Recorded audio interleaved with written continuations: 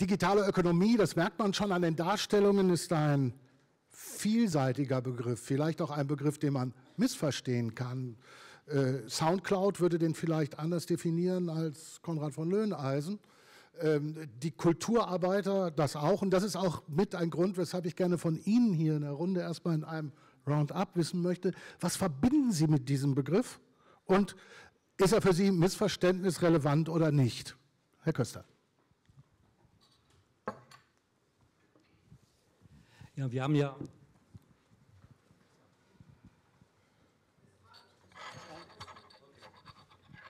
Ich glaube, es funktioniert ja wunderbar. Ja, ich glaube, die äh, Musikindustrie steht äh, schon vor äh, großen Herausforderungen. Wir im Europäischen Parlament ähm, versuchen natürlich auch Antworten zu finden auf die Digitalisierung ähm, der Musikbranche. Und ähm, es ist ja gerade auch äh, dargestellt worden, dass es da grundlegende Veränderungen gibt, auch was das Nutzerverhalten betrifft und dass man dazu auch europäische Regelungen finden muss. Und ähm, ob es Streamingdienste sind, äh, ob es die Download-Prozesse sind, zeigen eigentlich, dass ähm, ja, neue Geschäftsmodelle auch entwickelt werden müssen, um hier äh, eben auch Antworten zu finden. Und das, ähm, was ich gerade eigentlich ganz interessant fand, war, dass ähm, es ja durchaus auch Geschäftsmodelle gibt, bei denen eben die Kulturschaffenden durchaus ja insgesamt ähm, in prekären Lebenslagen sich befinden, gerade auch im Ruhrgebiet es, gibt es durchaus äh, Entwicklungen, die ich also zumindest so wahrnehme, wo versuchen junge Künstler so Netzwerke aufzubauen und auch im Ruhrgebiet äh, bestimmte Dinge zu entwickeln.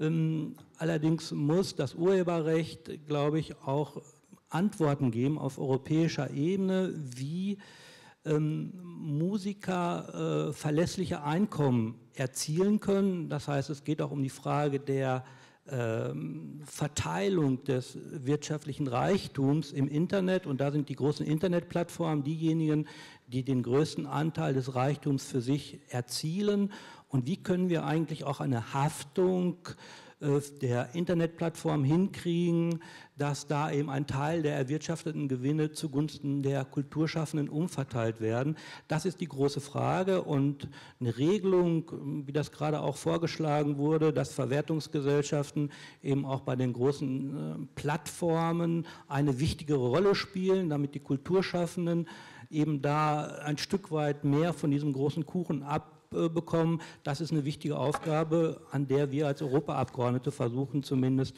etwas auf den Weg zu bringen. Bevor ich an Rolf Budde weitergebe, meine direkte Frage.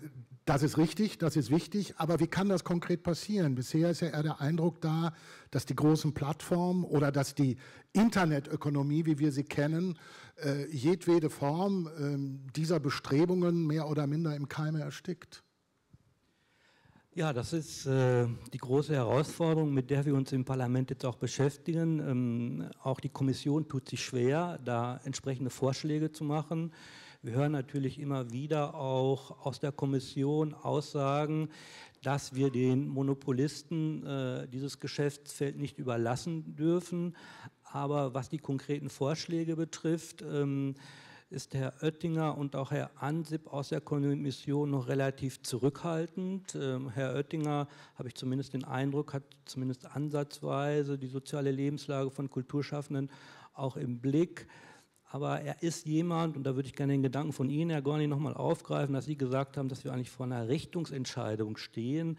Wird eigentlich ähm, die Veränderung des Internets zu einer Entwicklung führen, die vor allen Dingen über den Markt gesteuert wird? Oder ist es vor allen Dingen auch eine Aufgabe, die ähm, gemeinwirtschaftlich letztlich auch äh, gelöst werden soll?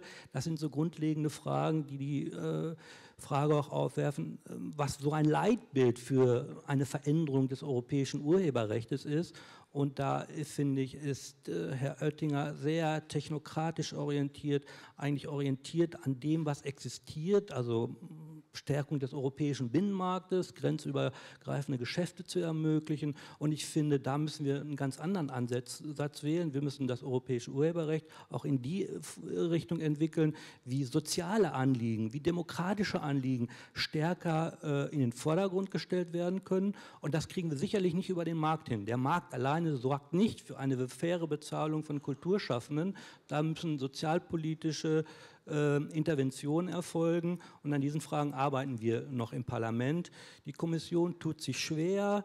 Äh, sie hat jetzt einen ersten Vorschlag gemacht mit dem Thema Portabilität. Hm, äh, Oettinger folgt dem Ansatz, ähm, was ist vielleicht am leichtesten politisch auch durchsetzbar, wo gibt es am wenigsten politischen Widerstand. Das Thema Urheberrecht ist ja eben auch ein sehr umstrittenes, wo es unterschiedliche Akteure gibt, die man gegen sich aufbringen kann. Und er glaubt, das Thema Portabilität ist eines, das relativ technokratisch bewältigt werden kann, um da einen ersten Schritt äh, zu gehen, um hier äh, ja, europaweit eine Regelung zu finden. Rolf Budde hat das, wir sehen ja gerade, ähm, Dietmar Köster hat das ja sehr gut dargestellt, wo auch die Probleme bei, bei einer Gesamtbetrachtung dieses Begriffs digitaler Ökonomie liegen. Hat das auch was damit zu tun, dass es eine, eine eingebaute Ignoranz der Bedeutung der Inhalte für jedwede Entwicklung dieser Technologien gibt? Ich glaube, ähm, die die Problematik liegt darin, wir haben uns ja auch schon mal über das Thema unterhalten und die Frage ist sozusagen, wer ist eigentlich jetzt, wer ist eigentlich jetzt dran? Und ähm, ich empfinde so ein bisschen, äh, äh, immer wenn ich nach Brüssel komme, merke ich sozusagen diesen enormen Druck, der da stattfindet, der verschiedenen Lobbyisten. Natürlich äh, äh, wissen die Googles dieser Welt ganz genau, dass wir diese Gespräche führen, dass wir unsere Sicht der Dinge bei, bei Ihnen auch als Mitglied der, äh, des Parlaments äh, deutlich machen. Und wir erwarten eigentlich jetzt äh, Aktivitäten. Sie haben die Problematik dargestellt. Ich denke, klar, Urheberrecht ist ein Thema, worüber diskutiert wird, wo man auch diskutieren kann. Aber ich denke, die Frage der Kontrolle der Inhalte, die über Google und Co., Facebook und wie es alles ist, äh, diskutiert wird, ist jetzt zu entscheiden. Und spätestens ähm, mit den Themen Terrorismus äh, und was alles noch im Netz verbreitet wird, ist die Frage, wer ist verantwortlich für die Inhalte. Und die können eben nicht nur aufgezeigt wird, ja, wir sind ja nur ein Portal, wir bilden nur das ab, was, äh, was bei uns eingestellt ist, sondern alle die, die sozusagen mit den Inhalten Geld verdienen, sind verantwortlich für die, für den Inhalt und da müssen sie auch gerade stehen. Zum einen mit verbotenen Teilen, zum anderen die, die damit Geld verdienen, die müssen auch äh, äh das honorieren. Und ich glaube, äh, lieber Köster, da ist das Entscheidende, dass das äh, Europäische Parlament den, den, äh, den Handschuh aufnehmen muss. Äh, wenn die Kommission, Sie sagen es ja, die sind da alle ein bisschen zäh und so, gut, aber die Entscheidung treffen Sie. Und ähm, ich glaube, da müssen auch äh, fraktionsübergreifend äh, Dinge auf den Weg gebracht werden, wo einfach mal das Thema benannt wird und gesagt wird. Nie hatten wir so eine gemeinsame Solidarität, wenn ich jetzt einfach nur an Frankreich und Deutschland denke, ähm, wo wir gerade in diesen Themen so einheitlich denken, das ist schon mal in europäischer Sicht extrem wichtig, dass zwei große Nationen da eigentlich äh, in einem, einem Schritt gehen. Und da denke ich, da sind Sie jetzt dran. Warum besprechen wir das alles? Ich denke, wir, die hier anwesende Musikwirtschaft, als ein Teil der Kreativwirtschaft, und das wird auch mein dauerndes Plädoyer bleiben, muss sich in die Gesamtdiskussionen einbringen, weil sie sonst alleine verlieren kann und weil sie sonst wenn es um Daten geht, sowohl ökonomisch verlieren wird und automatisch nicht der Treiber sein kann, der sie ist, weil sie eine der Branche war, die die digitale Konfrontation als erste erlebt hat und vor allen Dingen Schlüsse daraus gezogen hat. Schlüsse daraus gezogen hat, was Angebote angeht, Schlüsse daraus gezogen hat, was Erfahrungen angeht. Und deshalb glaube ich, auch für den politischen Prozess ein wichtiger Partner ist, selbst wenn es um Bereiche wie Datensouveränität, Datenverwendung, Datenverkauf, E-Health und ähnliches geht.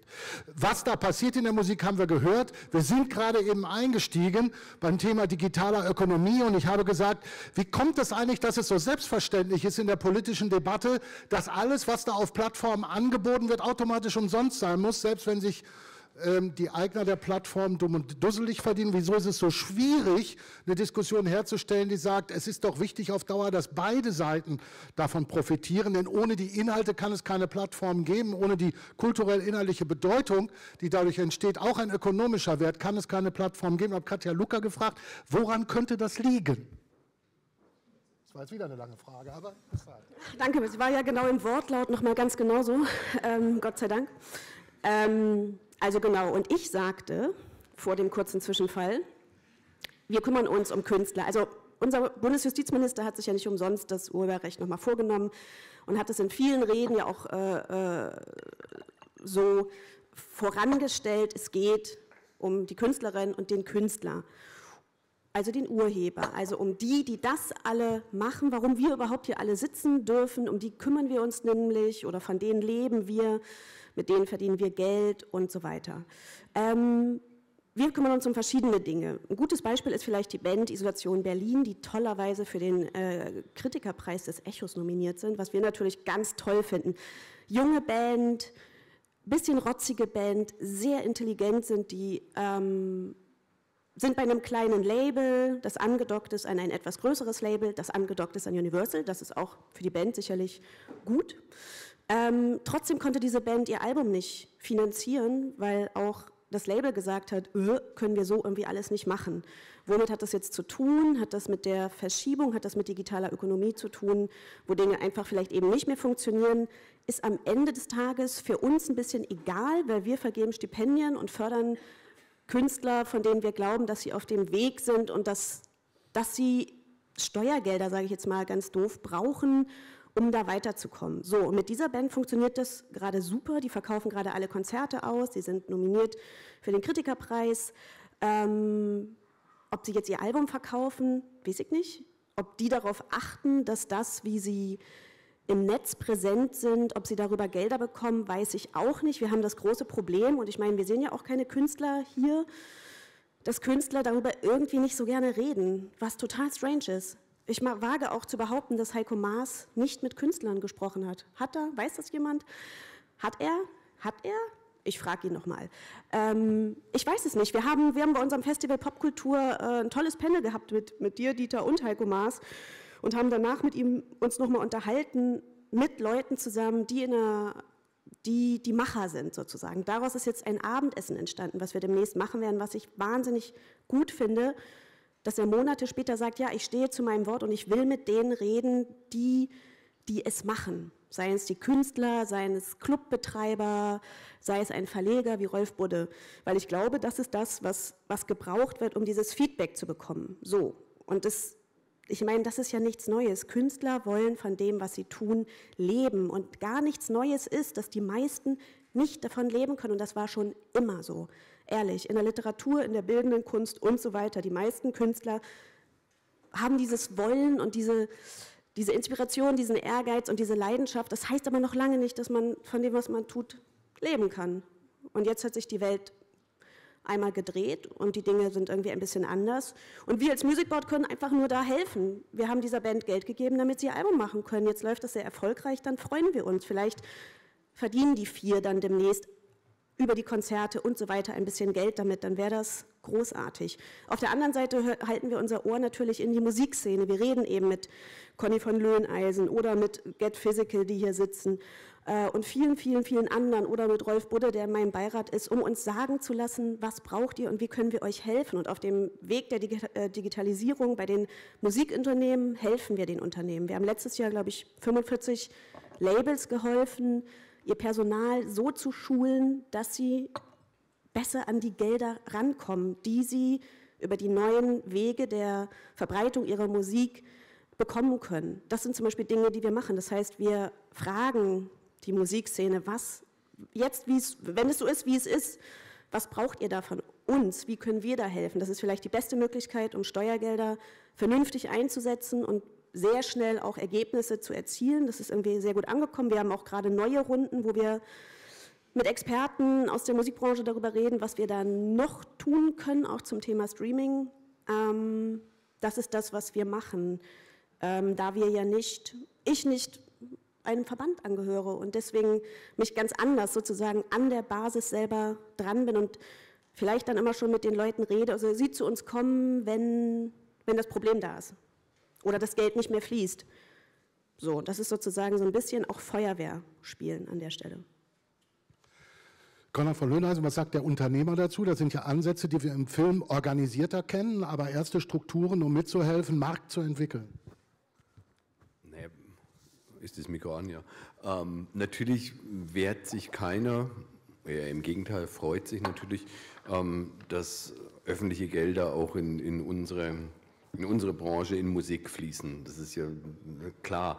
Ähm, natürlich ist es noch deutlich weniger als im, im, Filmbereich, ist aber auch nicht so teuer. Ist ja klar, ein Album zu produzieren kostet doch tatsächlich weniger als ein, ähm, einen Film zu machen, außer du bist die Happy Mondays, da wird es teurer. Ähm, aber was war jetzt die Frage eigentlich?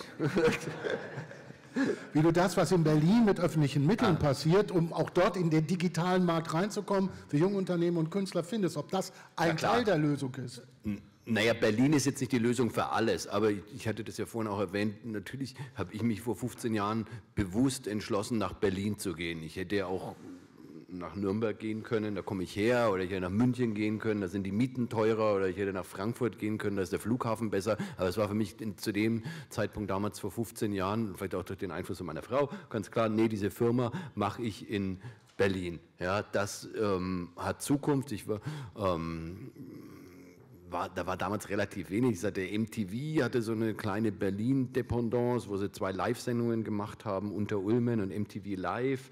Ähm, Universal ist, glaube ich, zwei oder drei Jahre später hierher gekommen. Es war für mich eindeutig, dass die Stadt das Potenzial, die, ähm, wie soll man den Charme, auch den rauen Charme hat, um Künstler, Kreative aus der Musikbranche ähm, anzuziehen. Also das war, das war für mich eindeutig. Ähm, dass jetzt so eine digital, wie soll man sagen, Schwanz hier jetzt auch in Berlin ist, ähm, das war mir damals noch nicht klar. Ähm, mittlerweile hat ja ähm, Berlin sogar London und Tel Aviv überholt in, in, ähm, an der Menge von VC oder wenn ähm, Investment, was in die Digitalbranche kommt ähm, merke ich selber jetzt nicht wirklich. Bei uns im Haus sitzt zwar auch irgendwie so eine äh, Programmiererbude, die sind alle relativ irgendwie fahl im Gesicht und rauchen Zigaretten im Hof. Aber was die genau machen, weiß ich auch nicht. Aber trotzdem ist es ist eindeutig, dass hier die, die Digitalökonomie in Berlin relativ stark ist. Herr Dr. Käseberg, es gibt die digitale Agenda der Bundesregierung. Jetzt gibt es äh, die digitalen Aktivitäten des BMWI, die Strategie 2025. Sie als einer, der direkt mit diesen Ordnungssystemen, es sind ja Versuche, Politik in ein Ordnungsenvironment reinzupacken, konfrontiert sind. Wie binden Sie das alles mit ein, auf dass es eine fluktuierende digitale Ökonomie gibt? Oder sagen Sie, das ist für mich gar nicht die digitale Ökonomie? Doch, also äh, die Kultur- und Kreativwirtschaft ist definitiv äh, wesentlicher Bestandteil der digitalen Ökonomie. Ich meine, äh, wenn man nochmal Ihre Ausgangsfrage nimmt, was ist digitale Ökonomie?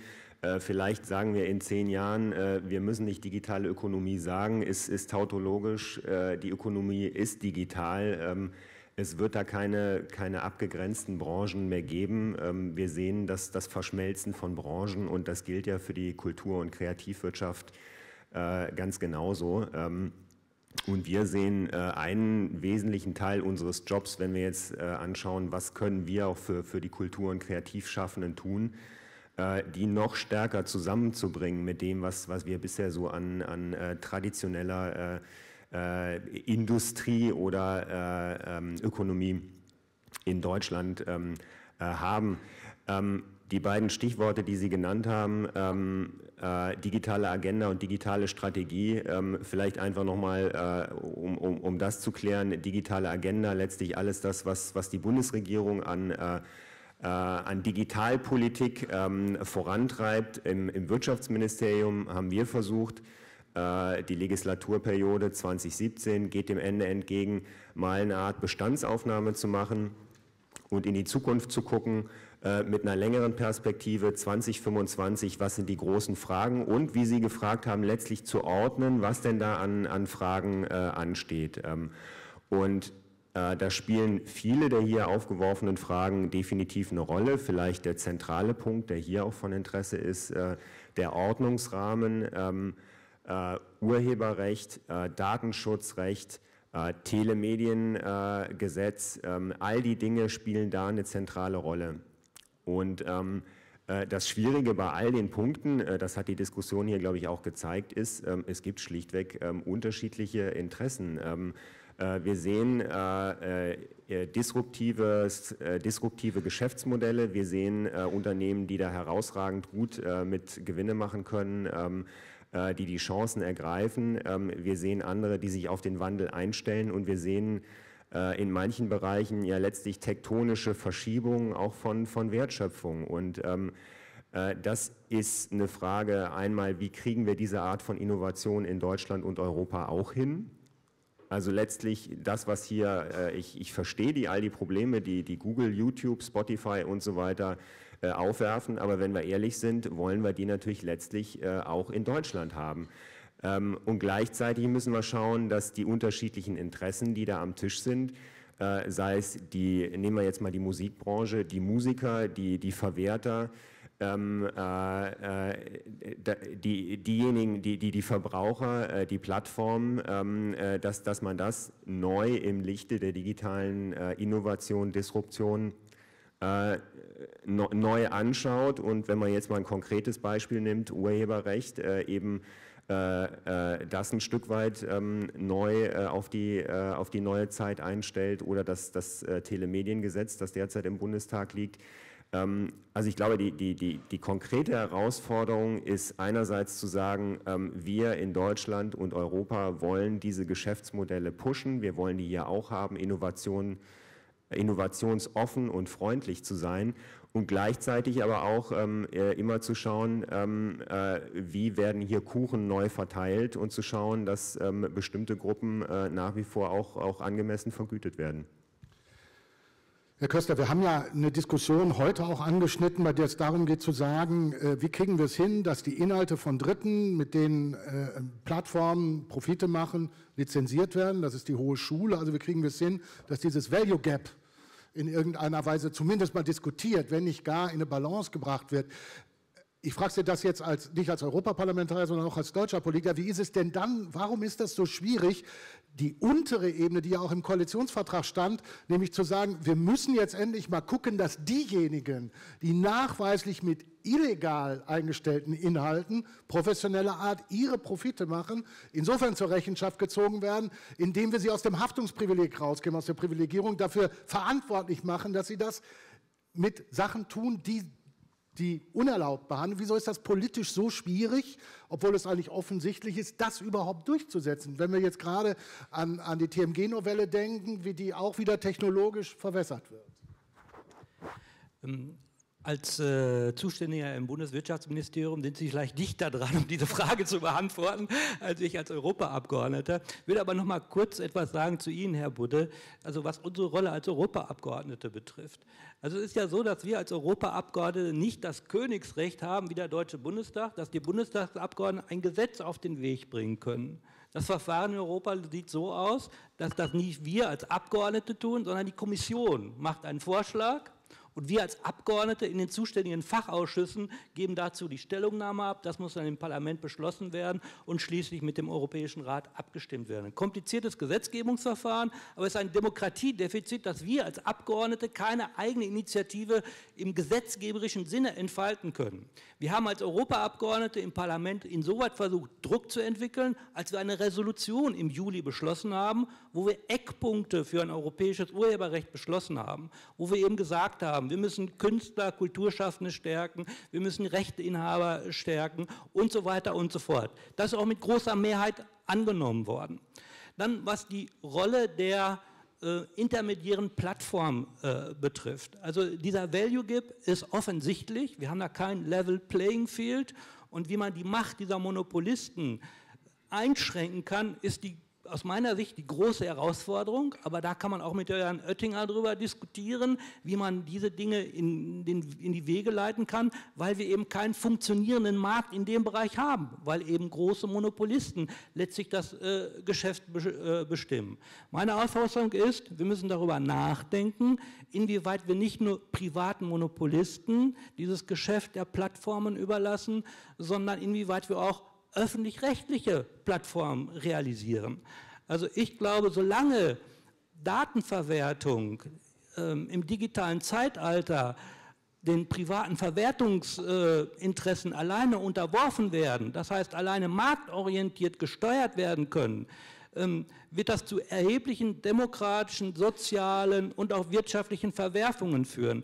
Wir müssen uns Gedanken machen, inwieweit öffentlich-rechtliche Plattformen eine Alternative sein können. Und ich glaube, über öffentlich-rechtliche Plattformen könnte man auch Fragen der äh, fairen Bezahlung von Kulturschaffenden, des freien Zugangs zu Informationen durch die Nutzer besser regulieren, als wenn wir alleine dieses Feld den privaten Monopolisten überlassen. Das ist eine große Herausforderung, an der wir rangehen müssen.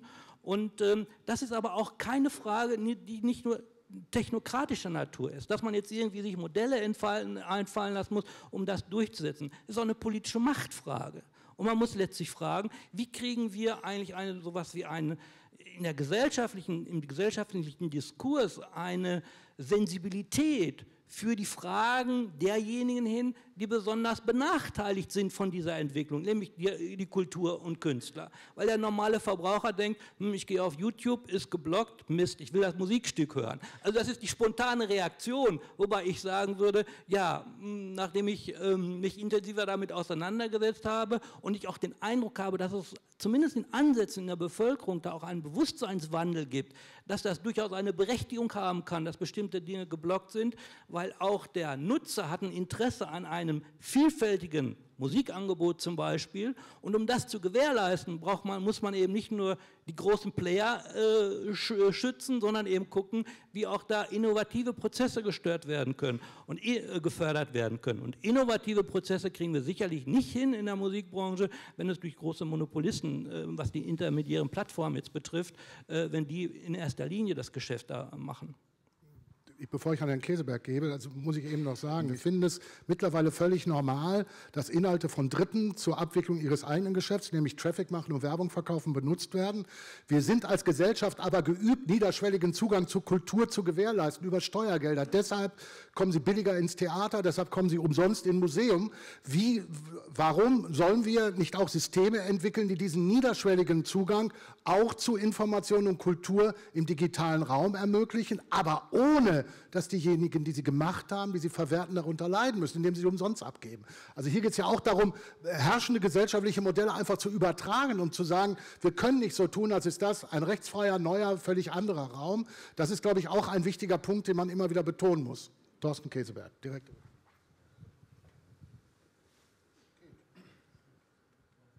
Professor Köster hat äh, finde ich, eine, eine, sehr entscheidende Frage aufgeworfen. Also es ist also tatsächlich, glaube ich, wenn wir über bestimmte Märkte sprechen, wie, äh, wie Suche oder, äh, oder ähm, äh, YouTube, ähm, mal sehen, wie es mit Musikplattformen generell weitergeht. Ähm, es gibt bestimmte Bereiche, wo man äh, auf den Märkten einfach massive Netz, Netzwerkeffekte hat. Ähm, und deshalb gibt es ja auch äh, das Verfahren der Europäischen Kommission gegen Google, ich meine, was kann man tun? Sie haben gesagt, man sollte darüber nachdenken, ähm, wenn man dann äh, auch in Blick nimmt, nicht nur die Inhalte, sondern auch Daten, wie kann man äh, mit der Art von, von privater Macht äh, umgehen? Und, und Sie haben, also in der Analyse ähm, wäre ich da sehr bei Ihnen, aber vielleicht um jetzt auch die Diskussion ein bisschen zu beleben. Sie sagen, öffentlich-rechtliche Plattformen könnten eine Alternative sein. Ich glaube, das, was, was äh, Konrad von, von Löhneisen vorhin gesagt hat über ähm, öffentlich-rechtlichen Rundfunk, zeigt ja auch, dass die auch eben eigene Probleme aufwerfen. Ich will das damit nicht als, als, als Lösung abtun, aber ähm, in dem Bereich gibt es aus unserer Sicht, glaube ich, schon ganz gute, ganz klassische ordnungspolitische äh, äh Dinge. Es gibt, äh, es gibt die Wettbewerbspolitik, die, die ihren Job machen muss. Ähm, es gibt die Möglichkeit, über das Urheberrecht äh, die Rechte der anderen, der äh, möglicherweise Schwächeren zu, zu stärken. Äh, es gibt sowas wie Zugangsrechte auch, auch zu Daten. Über all die Dinge ähm, muss, muss, man, muss man nachdenken. Ähm, ob dann in bestimmten wenigen Bereichen auch sozusagen öffentliche Plattformen eine Rolle spielen können, wär, wäre die Frage. Ich, ich wollte nur in den Raum werfen, dass die natürlich auch so ihre eigenen Probleme mitbringen.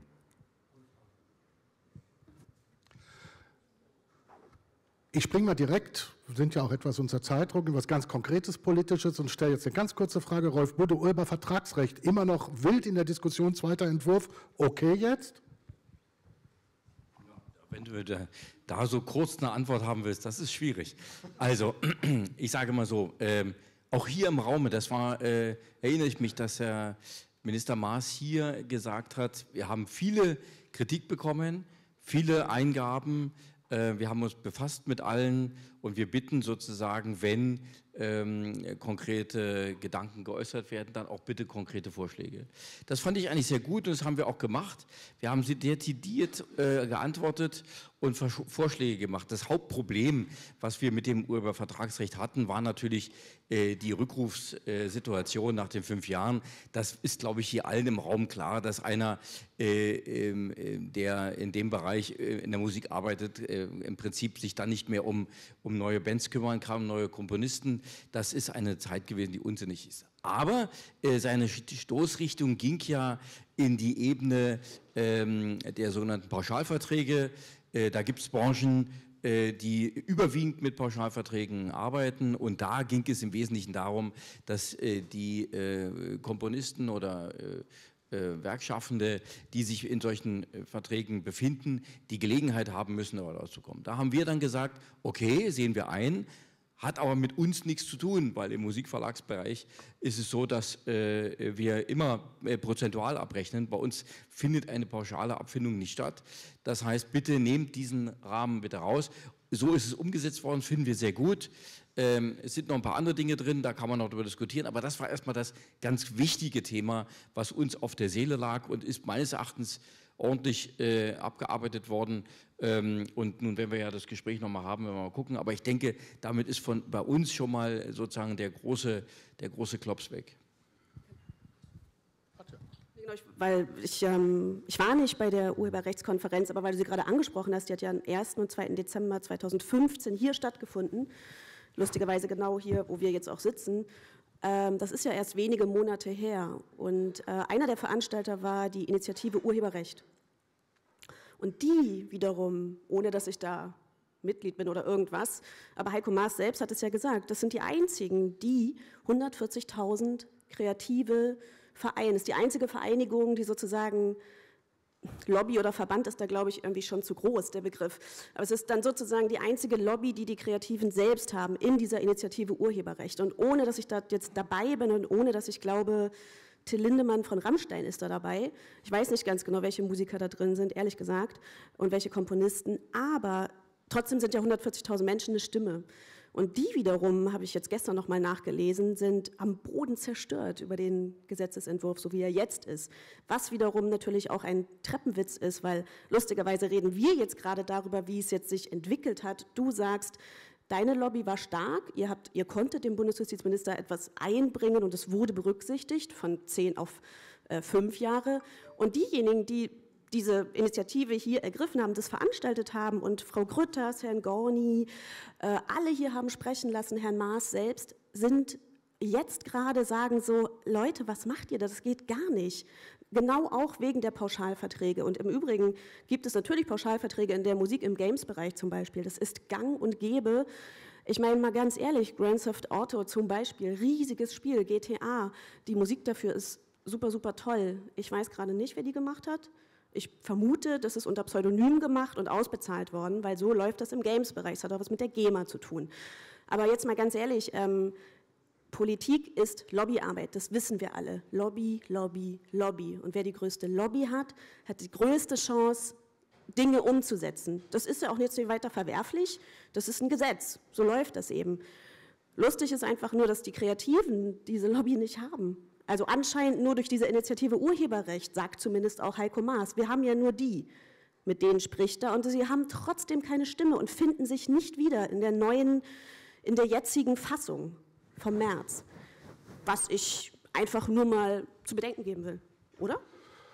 Ich weiß nicht, ob sie sich durchgängig nicht wiederfinden. Ich kenne viele Musiker, ich kenne vor allen Dingen viele Schriftsteller, die deutlich gemacht haben, wir werden keine Vorschüsse mehr bekommen von unseren Partnern, wenn wir äh, auf ein Fünfjahres-Rückrufrecht gehen. Wir leben von diesen Vorschüssen. Wir wissen alle, dass von zehn Investments nur eins trägt, alle, aber alle anderen meistens über Vorschüsse mitbezahlt werden. Ich glaube, äh, aus meiner Sicht, ähm, wenn der Justizminister und die Kulturstaatsministerin in einer anderen Sache einen Brief an Herrn Oettinger schreiben, äh, da ging es um das Verfahren Reprobel, äh, äh, und sagen, lieber Kommissar, bedenke doch bitte, dass die Finanziers, die Partner und die Künstler, ich glaube, da fiel sogar das Wort, in einer symbiotischen Beziehung stehen. Achte darauf. Dann ist es, glaube ich, auch ein Ansatz darum zu kämpfen, dass man da zueinander kommt, weil ich glaube, dass die Diversifikation und das scheinbare Gegeneinander insofern an der Realität herbeiführt, weil es ja immer noch ein Akt von Freiwilligkeit ist, sich einem Label anzuschließen, zu einem Verlag zu gehen. Und wir alle wissen, dass unabhängig von diesem Akt der Freiwilligkeit und der unendlichen Möglichkeiten der Selbstvermarktung im Netz, diese Partnerschaften, weil es auch investive Partnerschaften sind, weil sie damit zu tun haben, dass leidenschaftlich an die Entwicklungsfähigkeit von Künstlern geglaubt wird, mit Geld unterfüttert, eine sehr, sehr wesentliche Rolle für die Geschäftsentwicklung spielen. Deshalb meine, meine bevor ich sage, alle nochmal, was muss geschehen, frage, wir erleben ja gerade in Amerika, wie da ein, ein ganz großer Block aus Künstlern, aus Labels, aus allen Beteiligten auf die Politik zugehen und sagen, wir, die Kreativen, von denen, die ursächlich dafür verantwortlich sind, von denen, mit denen wir es zusammen machen, wir brauchen Veränderungen in dem Bereich. Das wäre doch auch mal eine Aufgabe, die man hier hinkriegen könnte, als ständig Gegensätze an der Stelle zu betonen, weil wir ja in einer Phase des Ausgleichs kommen und vor allen Dingen, ich weise auf einen Nachbarverband, den Bitkom. Da sind die Gegensätze sozusagen systemimmanent. Trotzdem tritt man da als technologischer Komplex äußerst einig auf. Sonst gäbe es nicht diese Entwicklung auf europäischer Ebene. Sonst gäbe es auch nicht diese Debatte, die wir gerade beim TMG spüren, wo es ja scheinbar schon so eine Sache ist, überhaupt Illegales ähm, zur Rechenschaft zu ziehen, immer mit dem Argument, dann kann sich die Technologie nicht weiterentwickeln. Das ist mein Petitum an dieser Stelle. Aber jetzt noch mal ihr und euer Petitum. Was muss passieren, dass wir in dieser Sache als Ganzes, und damit meine ich auch, hinsichtlich einer gemeinsamen Wertschöpfung weiterkommen? Wenn wir über digitale Ökonomie reden, glaube ich, ist eine alleinig technologisch ausgerichtete digitale Ökonomie auch nur halb so umsatzstark. Wir brauchen die andere Seite, wir brauchen die Inhalte. Ihr Schlusswort, Dr. Käseberg, was müssen wir tun? Oder was müssen Sie tun? Eine ganze Menge offenbar. Ähm, nein, also wenn ich, wenn ich einen Punkt rausgreife, äh, weil die Veranstaltung ja auch unter dem Stichwort äh, Verantwortung im Internet und äh, ähm, Stichwort ähm, äh, Telemediengesetz oder auf europäischer Ebene E-Commerce-Richtlinie äh, fällt. Ähm, es ist sicher richtig, dass ähm, äh, zu den großen Gewinnchancen, die die Plattformen wie, wie YouTube ähm, äh, haben, dass dazu auch Verantwortung als Kehrseite gehört ähm, und dass der Rechtsrahmen ähm, äh, diese Verantwortung auch, auch herstellen muss. Ähm, nach unserer Überzeugung war das, äh, die, die Haftungsregelung für, für äh, Host-Provider so, wie wir sie jetzt an den Bundestag gegeben werden, äh, ein, ein, guter, ein guter Kompromiss. Aber wie gesagt, das sind eben äh, schwierige Debatten, weil man da eben immer die unterschiedlichsten äh, Interessen von äh, Verbrauchern, die vielleicht ein Stück weit an diese kostenlos Kultur über die Jahre äh, gewöhnt worden sind, ähm, äh, von, von Künstlern, äh, Verwertern, ähm, wirklich zusammenkriegen muss. Und das, das ist, das ist würde ich sagen, un, unser, ähm, unser ähm, Hauptjob. Ansonsten, ähm, wenn man das Thema noch ein bisschen äh, weiterzieht, ähm, jetzt jenseits von, von, von, von Plattformen, ähm, glaube ich, ist der, der Hauptjob der Politik ähm, in Deutschland ähm, äh, natürlich Kultur, Kreativwirtschaft. Äh, äh, weiter zu fördern, ähm, äh, stärker, glaube ich, noch mit, mit, äh, mit, mit, mit tradierter Wirtschaft äh, mit, zusammenzubringen. Äh, und insgesamt, ähm, äh, wie Sie es gesagt haben, ähm, die Debatte über Digitalpolitik ähm, ist, hat, glaube ich, jetzt die letzten zwei, drei Jahre ganz enorm an, an Fahrt gewonnen. Und wir sind jetzt in einem, eigentlich in einem Zustand, wo wir alle ähm, halbwegs informiert auch miteinander reden können und die Probleme, ähm, würde ich sagen, relativ klar auf dem, auf dem Tisch liegen. Äh, also insofern wäre ich nicht so pessimistisch im Sinne von, äh, äh, ähm, wie, wie, wie kriegt man da die einzelnen, die, die, die Netzpolitiker und die Wirtschaftspolitiker und andere zusammen. Ich glaube, die sprechen mittlerweile miteinander, weil die Probleme eben ganz konkret da sind äh, und, ähm, und äh, gelöst werden müssen. Konrad von Löhnhausen, kurz, knapp, eindeutig. Okay, knapp. Ähm, ich will einfach in eine Situation kommen, dass ich, ähm, was ich will in eine Situation kommen, ich will weiter ähm, ehrlich mit, mit meinen Künstlern, den Vertretern meiner Künstler zusammenarbeiten, ähm, ich will aber auch eine Garantie haben, dass meine Musik nur da oder die Musik, die ich eben für, für meine Künstler auswerte, einfach nur da stattfindet, wo, wo ich das auch will oder wo ich eine Möglichkeit habe, eben eine, eine kollektive Rechtewahrnehmung oder eine separate Lizenzierung abzuschließen. Ähm, das hatte ich ja, glaube ich, vorhin in meinem Vertrag schon, in meinem Vortrag schon gesagt. Ähm, für alles andere haben wir dich. Katja. Ich habe es ja eigentlich auch schon gesagt. Ähm, wir wollen auch, dass, dass die Künstler und auch die Musikunternehmen von dem, was sie tun, leben können. Und ich bin auch manchmal ein bisschen deprimiert, wenn ich mitbekomme, dass es anscheinend nicht möglich ist, mit den Riesen Google, YouTube, Facebook und so weiter zu sprechen. Das kann ich irgendwie nicht glauben. Das könnte nur bedeuten, dass die Lobby noch größer ist als all eure Lobbys. Vielleicht. ähm, oh, ist so, ne? Siehst du? Ähm, tja, dann muss man halt eine noch größere Lobby bilden. Muss der Bundesjustizminister noch mal ein paar Leute zusammenholen, weil es ist, also ich habe selber mit Google natürlich, wir haben auch ab und an mal Gespräche und auch mit YouTube und so weiter. Das ist schon, also es zieht dir die Schuhe aus, ähm, was da für ein Bewusstsein ist oder auch, wenn es um, man könnte ja auch mal sagen, gebt doch was zurück für den Nachwuchs, aber es, da kommt sofort, wir haben überhaupt kein Geld. Also gar kein Geld. Wir können euch gar nicht, also gar nicht, wirklich nicht. Keine Ahnung, ähm, schade. Ähm, scheint irgendwie, also man, also das ist irgendwie ein bisschen deprimiert, aber weil wir ja nicht deprimiert sind und unsere Branche das auch gar nicht zulässt, gucken wir natürlich nach vorne und reden weiter mit dem Bundesjustizminister und allen Lobbys dieser Welt, um vielleicht eine, die größte Gegenlobby aufzubauen. Rolf Budde finde zunächst mal, ich glaube, das ist viel zu kurz geworden. Ich finde diese digitale Agenda sehr gut, wenn ich das mal sagen darf. Ähm, und ich freue mich, dass Sie heute hier sind. Wir werden dann vielleicht nachher noch ein paar Worte äh, darüber wechseln können.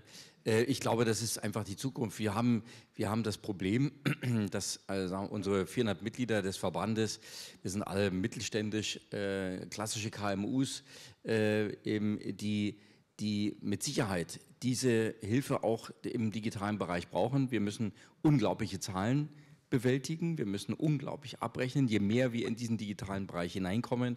Das sind äh, Themen, da muss, muss unser gesamter Bereich sich komplett umstellen.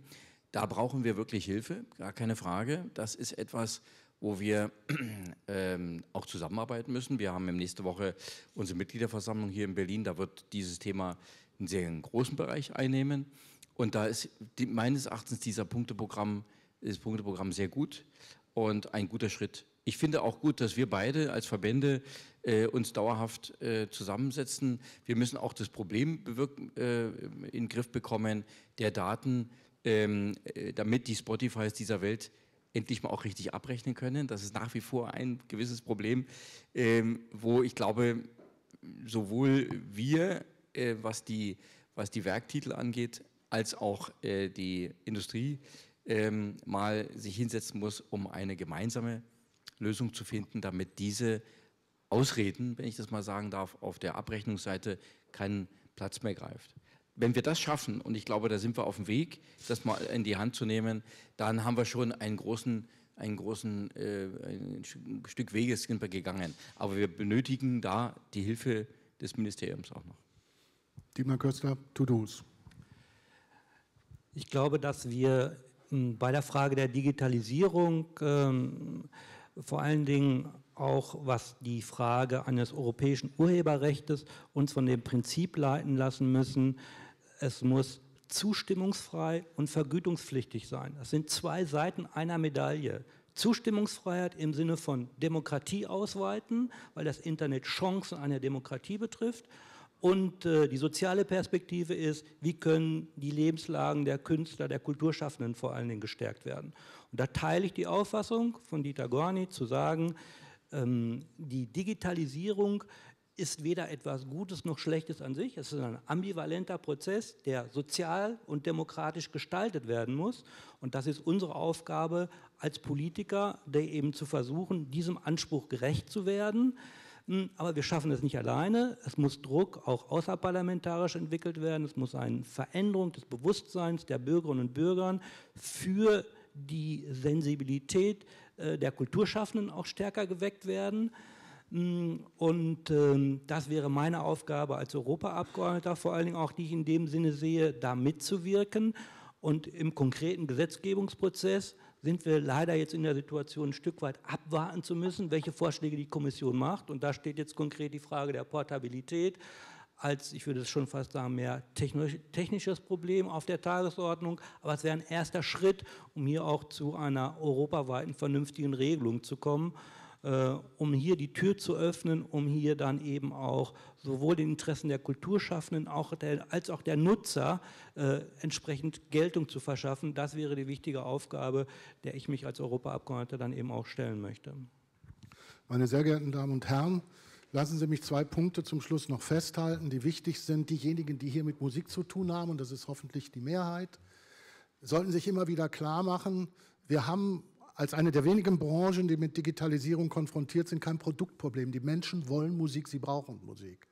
Wir haben vielleicht ein Distributionsproblem, ein Entwicklungsproblem. Das sollte uns Ansporn sein, diese Erfahrung auch einzubringen in den Prozess und ausgehend davon auch das zu entwickeln, was wir brauchen, um diese Lobbys zu entwickeln. Denn zweitens, alles, was in Zukunft Wert hat, sind Daten. Ob es eine Musikdatei ist, die illegal verwendet wird, oder ob es Nutzerdaten sind, die irgendwo in der Gesundheits-App stecken.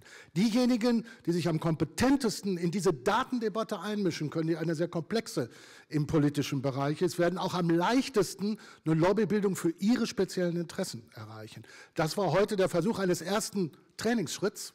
Aber ich denke, wir sind auf einem guten Weg und sollten das weiter trainieren, denn die Sache, die Musik und auch die Kultur- und Kreativwirtschaft ist es wert. Haben Sie vielen Dank. Entschuldigen Sie nochmal den disruptiv-fraktalen Verlauf dieses Vormittags äh, und freuen Sie sich umso mehr auf ein hoffentlich geschlossenes, gut komponiertes Mittagessen. Guten Appetit.